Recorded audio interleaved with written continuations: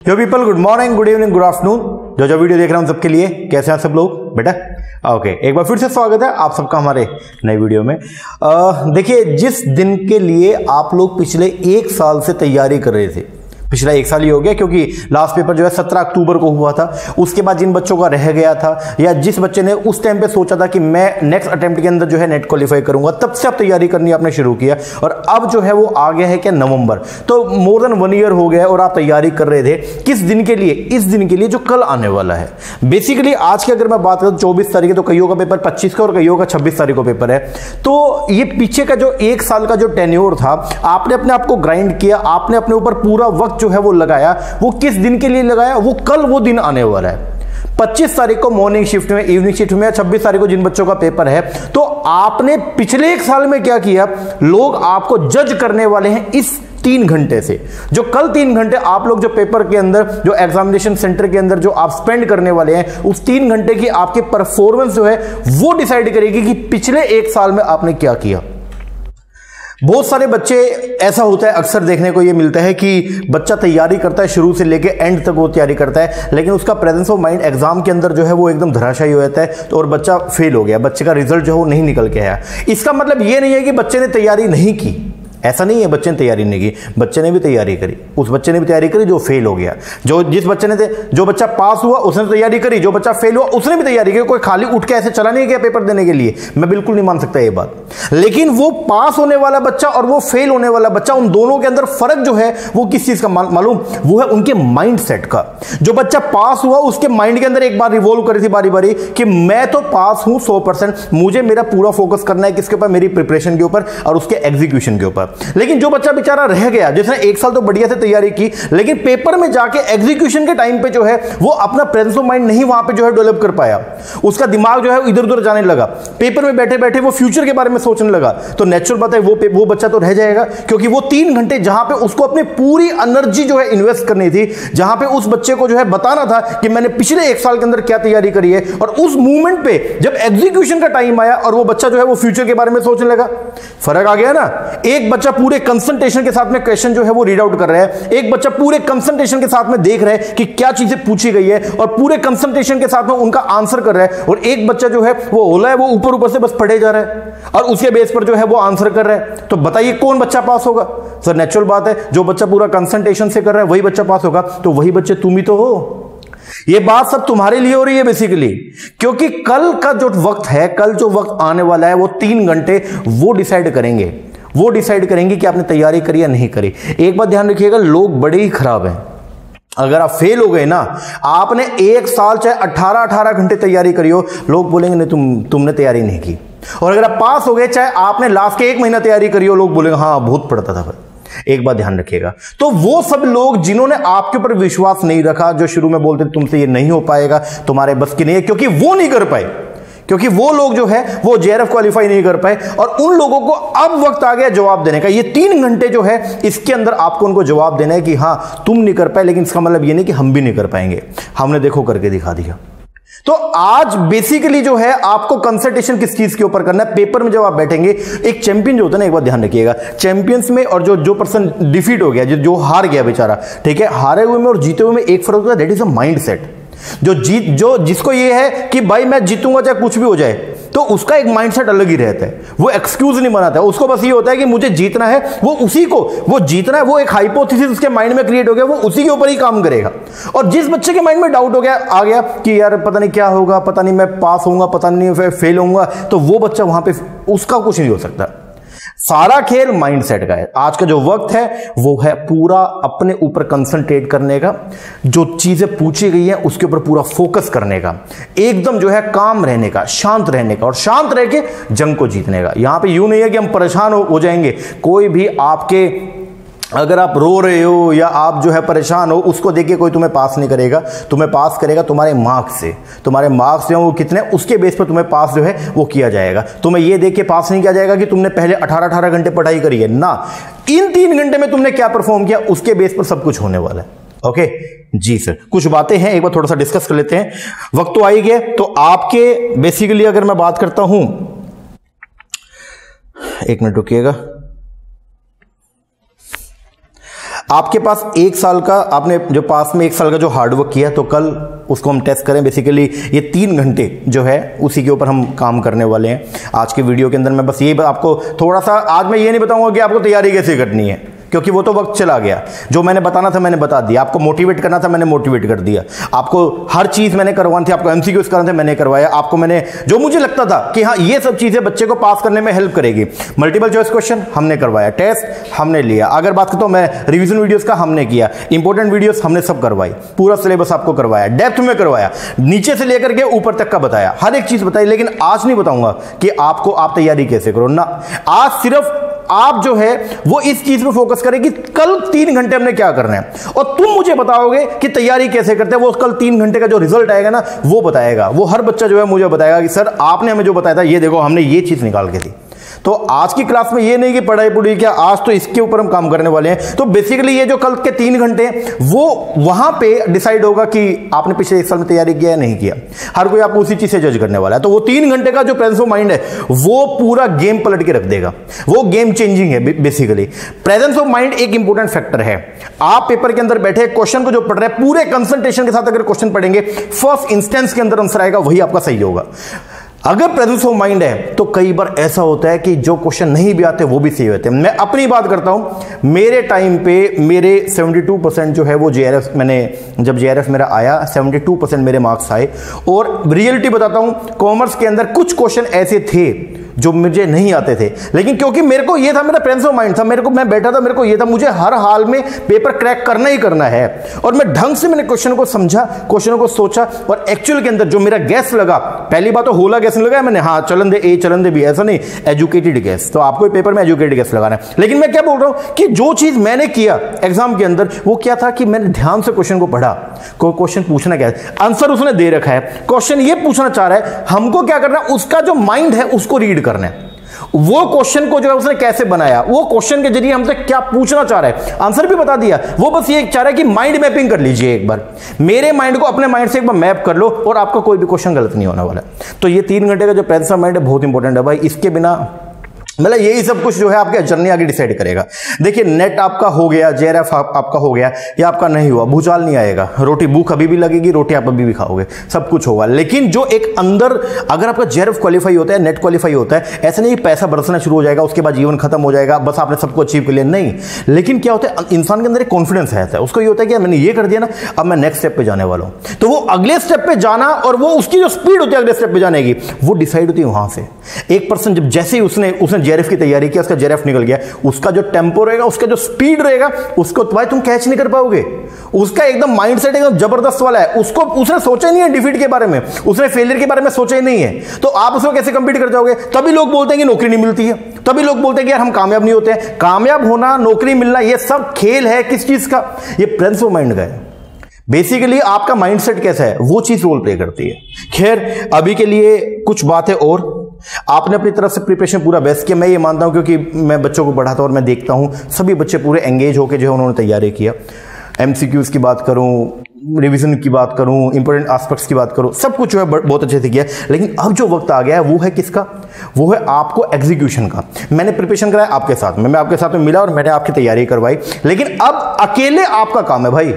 क्योंकि मैं अब आपको लास्ट मोमेंट पे लाके छोड़ दिया। मैंने कहा, देखो, ये सब हो गया, अब आपको करना है। अब मैं बचाना नहीं आ सकता। अब यूँ नहीं है कि मैं पेपर मैं आपकी क्लास के बाहर खड़ा होकर मैं बोलूँगा हाँ इसका ए भर दो, इसका बी भर दो। ऐसा नहीं हो सकता। अब मैं नहीं आऊँगा। मैंने आपको तैयारी करवा दिया ये बस यहाँ पे खेल खत्म हो गया। अब अब आपको मुझे बताना है कि चीज़ें जो मैंने आपको बताई हैं, उसको आप कैसे एग्जीक्यूट करते हो? अपने रिज़ल्ट के साथ में आपको जो है वो प्रूफ करना है। समझ रहे हो? देखिए, मैं अपने टाइम की अगर मैं बात करता हूँ जब मैं मैं जब तैयारी करना शुरू किया तो उस टाइम पे मैं मानता हूँ कि मैंने पूरे मन से तैयारी किया और मेरा, दो बार मैंने पेपर दिए, दोनों बार मेरा जेआरएफ है। एक बात समझिएगा, ऐसा नहीं है कि उस टाइम पेपर आसान था, नहीं, उस टाइम भी बच्चे पास हुए, उस टाइम बच्चे फेल भी हुए, उस टाइम बच्चों का जेआरएफ भी आया, उस टाइम के भी बच्चे, आज भी आज भी वो 2017 की बात हो गई है 2017 से 2021 17 18 19 20 21 पाँच साल हो गए आज भी कुछ लोग जो है, वो 17 से 21 में भी पेपर दे रहे हैं, बट उनका क्वालिफाई नहीं हो पाया। माइंड का खेल है भाई। इस बात को समझिएगा। जिन लोग, जो लोग मेरे साथ में पढ़ते थे, जो मेरे सीनियर से, आज वो मुझसे पढ़ते हैं, जो मेरे साथ पढ़ते थे मुझसे पढ़ते हैं, जो मेरे सीनियर थे वो भी मुझसे पढ़ते हैं कुछ। खेल क्या है? माइंड सेट का। मुझे पता था कि मुझे क्या करना है, मुझे किस दिशा के अंदर जाना है, बात खत्म हो गई। मैं आपको एक बात बोल रहा हूँ, मैंने तैयारी करवा दिया, लेकिन अब आपका वक्त आ गया भाई एग्जीक्यूशन का। वो तीन घंटे आपका जो प्रेजेंस ऑफ़ माइंड है, वो सारा गेम को चेंज कर देगा। अगर जिस बच्चे ने पूरे प्रेजेंस ऑफ़ माइंड को लगा करके पूरा अपना कंसंट्रेशन के साथ में, पूरे फोकस के साथ में, अगर पेपर अटेम्प्ट किया, वो बच्चा पास है, भाई, उसको रोकने वाला कोई भी नहीं है। वो बच्चा ऐसे क्वेश्चन भी सोल्व कर जाएगा जो उसको नहीं आते। और जिस बच्चे ने पूरा कंसंट्रेशन नहीं लगाया फोकस नहीं किया अटेंशन नहीं दिया फ्यूचर के बारे में सोचने लगा इधर उधर ताका झाकी करने लगा तो भैया वो बच्चा वो क्वेश्चन भी गलत कर देगा जो उसको आते हैं। अब आपको डिसाइड करना है आपको कौन सा बच्चा बनना है। आपको वो बच्चा बनना है, जिसका कंफर्म जेआरएफ है, और आपको वो बच्चा बनना है, जिसका नेट होने में भी जो है उसको मशक्कत लगानी पड़ेगी। सारा खेल आपके ऊपर है। इट्स ऑल अबाउट यू पहला, ये सब आ गया है पेपर होगा तो एक तो इम्पेशेंट नहीं होना। पेपर तो कई बार अपने को ये होता है जल्दी जल्दी जल्दी जल्दी निपटा दो।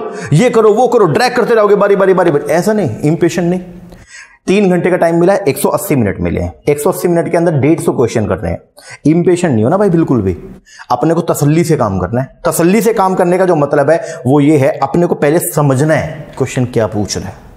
एक ही बार में क्वेश्चन को पढ़ना है। फ़र्स्ट इंस्टेंस में माइंड क्या बोलता है? दिमाग में जो चीज़ आई, दिल में जो चीज़ आई, वही उसका आंसर है। एक बार ध्यान रखिएगा।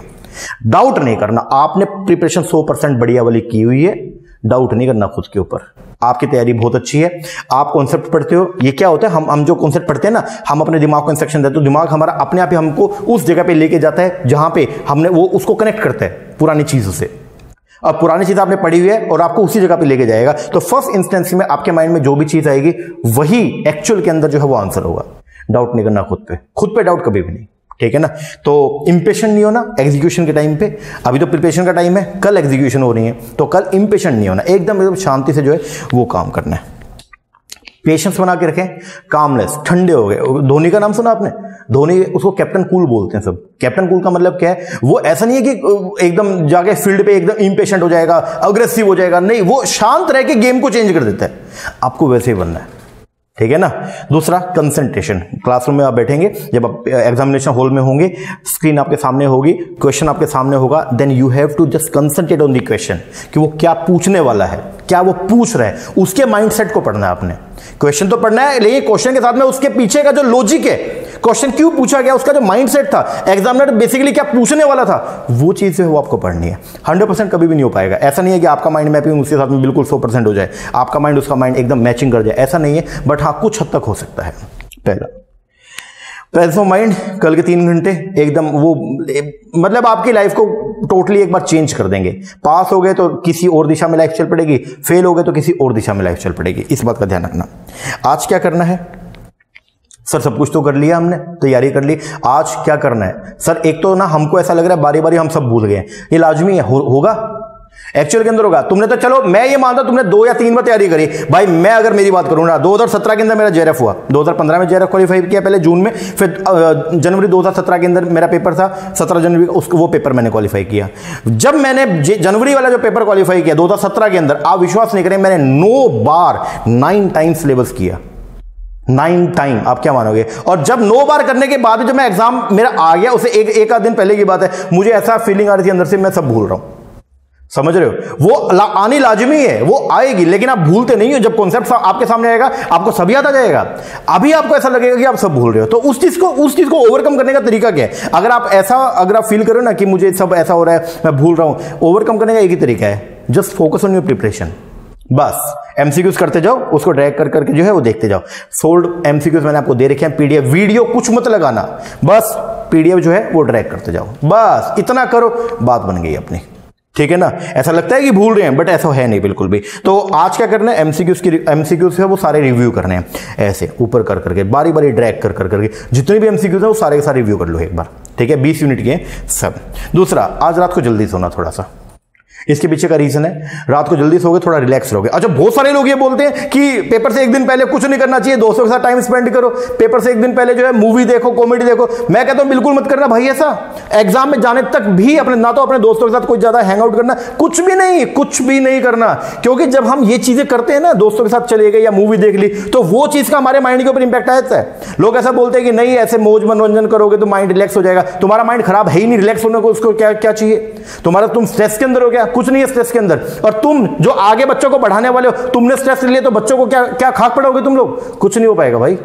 ऐसा नहीं करना, आपको आज भी तैयारी करनी है, कल पेपर में जाने से पहले तक भी आपको तैयारी करनी है। इस बात का ध्यान रखना, ठीक है ना? क्योंकि अगर आप मूवी आज देखने लगे ना तो एक बात मेरी ध्यान रखिएगा, या आप अगर कोई वीडियो लगाने लगे, मान लो कोई भी चीज़ अगर आप करने लगे तो आपके माइंड के अंदर उसका इंपैक्ट रहेगा। कहीं ना कहीं वो भी आपके माइंड में एक कोने में बस जाएगी, और वो चलती रहेगी। कुछ समय तक इंपैक्ट रहा तो मेरी तो तैयारी जो है वो खराब हो जाएगी।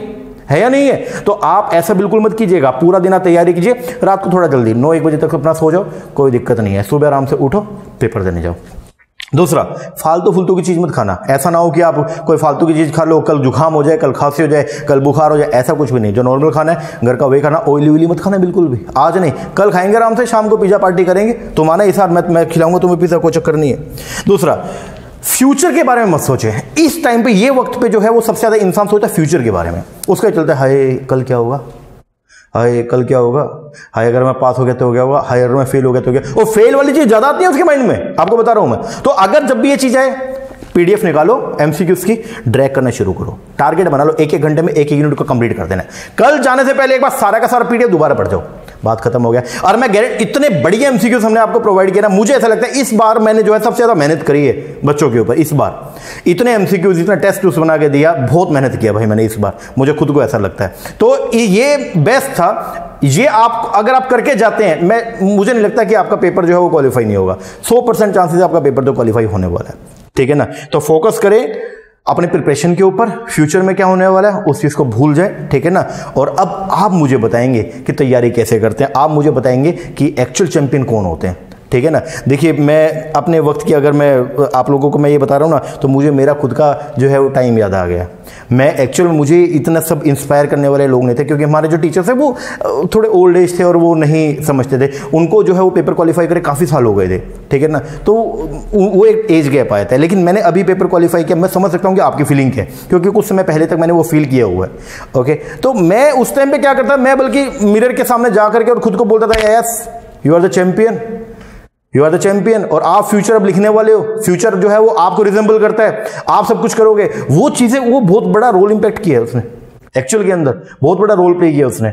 मैं अपने हाथ पे, आप विश्वास नहीं करोगे, आप ये समझोगे, सर, आप तो मूर्ख थे बिल्कुल ही। लेकिन एक्चुअल के मैं, मेरी क्लासरूम में भी ऑफलाइन क्लास में भी कुछ बच्चे अगर होंगे, उनको मालूम होगा। मैं यहाँ पे लिखवाता हूँ बच्चों को कि लिखो यहाँ पे जे आर एफ़ यहाँ पे लिखो जे आर एफ़ जब सब चीज़, जब बारी बारी उठते बैठते अगर आपको एक ही चीज़ दिखेगी, आपका माइंड उसी दिशा में जाएगा। आपको बस ये होगा, मुझे कुछ नहीं भाई, मुझे तो जे आर एफ़ चाहिए। ये एक्चुअल के अंदर ये रियलिटी बता रहा हूँ आपको मैं। ये बहुत सारी चीज़ें जो अलग अलग चीज़ें अलग अलग फैक्टर्स हैं, जो रोल प्ले करते हैं। बस मैं आपको ये कहूँगा कि अब वक्त जो है वो अब आपका आ गया है। अब आप मुझे बताएँगे कि तैयारी कैसे होती है, तैयारी जो है हमने करी तो अब रिज़ल्ट क्या निकल के आता है, वो आप लोग जो है वो मुझे बताएँगे। मेरा जो साथ था आपके साथ, वो यही, वैसे तो पूरे जीवन का साथ है अपना। ठीक है, कभी भी आपको आगे फ्यूचर में हेल्प की ज़रूरत हो तो हम अवेलेबल हैं आपके पास में। लेकिन अभी एग्ज़ाम हॉल तक का अपना साथ है, यहाँ तक का बस। उसके बाद वो तीन घंटे जो है वो आप लोगों को जो है एग्जीक्यूट करना है, आप लोगों को बताने की तैयारी आपने क्या किया लेकिन मैं आपको यह बता रहा हूँ, देखिए, अगर कल पेपर के अंदर कोई बच्चा बैठ के अपना बेस्ट देता है, जो उसने आज तक नहीं दिया तो वो, आपको सीरियस बताओ उसका रिज़ल्ट सौ परसेंट है। सारा खेल आपके माइंडसेट का है, सारा खेल प्रेजेंस ऑफ़ माइंड का है। एक चैंपियन का जो माइंडसेट होता है, वो एक अलग होता है, एक जो पर्सन हार देता है, उसका जो माइंडसेट है, वो अलग होता है। एक जो चैंपियन होता है ना, उसको, उसके माइंड में होता है, कितना मुश्किल है, अरे भाई मैंने प्रिपरेशन कर रखी है।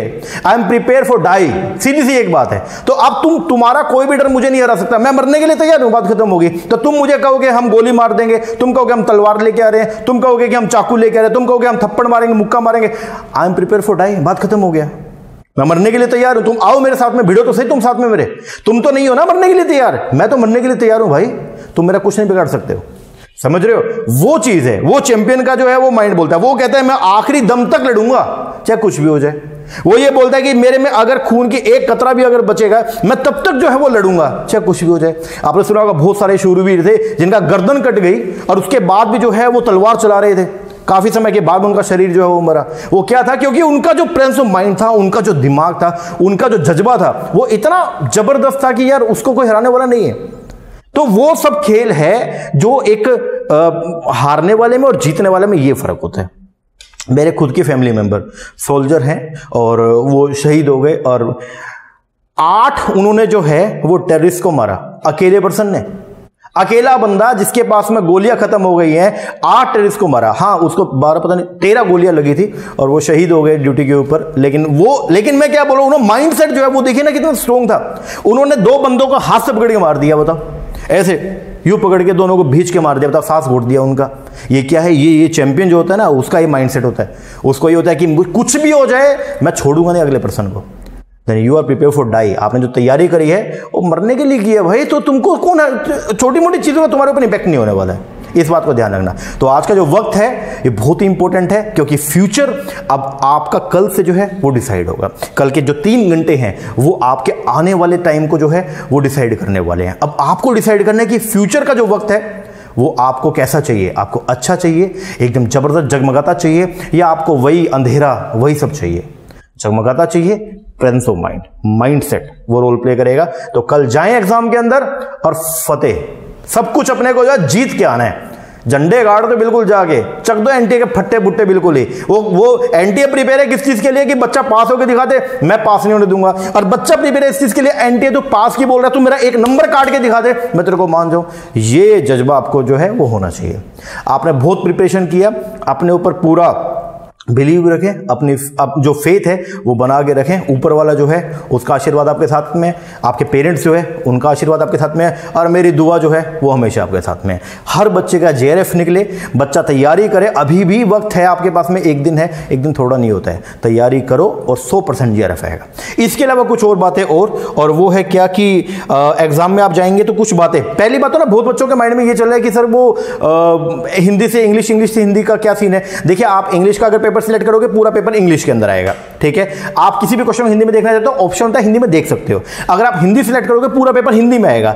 वहाँ पे भी ऑप्शन है, अगर आप कोई क्वेश्चन को इंग्लिश में देखना चाहते हो तो आप देख सकते हो। तो मैं आपको ये बोलूँगा, आप पूरा पेपर जो है वो इंग्लिश में सिलेक्ट करें। कोई पेपर कोई क्वेश्चन अगर आपको लगता है कि हिंदी में अगर देखना तो आपका वहाँ पे ऑप्शन रहेगा, आप देख सकते हो आराम से। बात खत्म हो गया। दूसरा, आपको एग्जामिनेशन ये आपको जो है तीन पेज का जो है आपका एडमिट कार्ड है, इसको आपको डाउनलोड करना है। इसके यहाँ पे ना एक सेल्फ डिक्लेरेशन फॉर्म जो है वो दिया हुआ है। तो इसको आपको भरना है। ठीक है ना? यहाँ पे आपको अपनी फ़ोटो जो है वो लगानी है। फ़ोटो के साथ में आपका जो जो लेफ़्ट हैंड है, उसका थंब इंप्रेशन आपको चाहिए और आपके साइन होने चाहिए।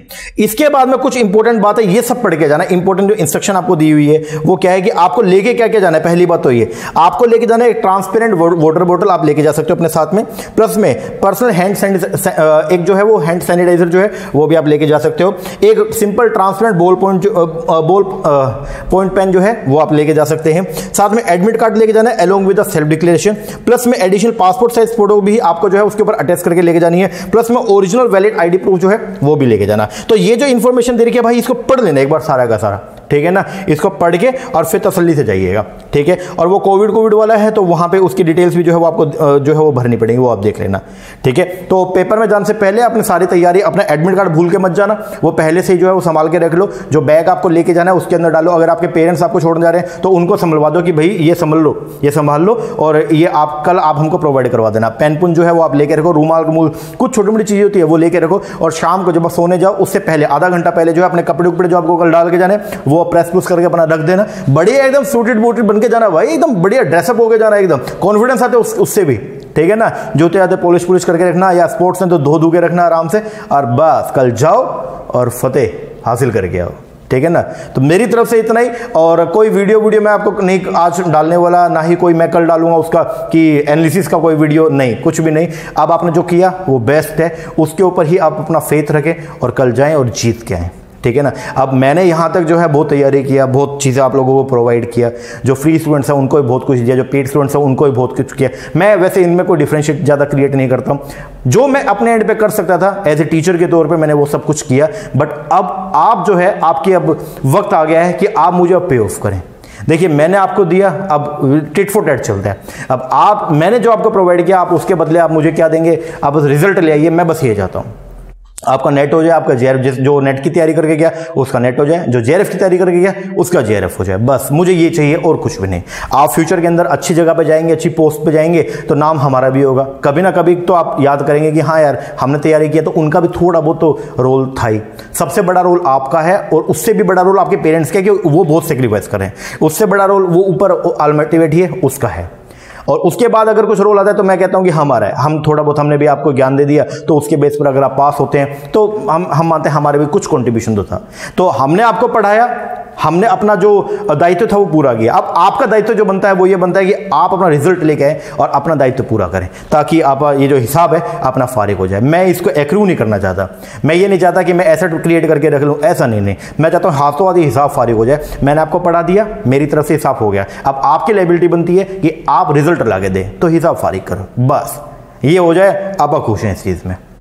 ठीक है ना? मेरी तरफ़ से बहुत बहुत शुभकामनाएँ। कल के लिए ऑल दी वेरी बेस्ट जो आपका बेस्ट है लाइफ में, वो आपको मिले कल। और कल का दिन एक रिमार्केबल है। रिमार्केबल होने वाला भी है क्योंकि कल आप एक साल की मेहनत का निचोड़ जो है वो डालने जा रहे हो। पिछले एक साल में जो किया, वो सब का निचोड़ जो है, वो कल आएगा। तो आप डिसाइड करेंगे आप कौन है? आप चैंपियन है या फेलियर है? तो आपको डिसाइड करना है। ठीक है ना? जो लेगेसी वो ऐसे नहीं लिखी जाती, एक बार ध्यान रखिएगा।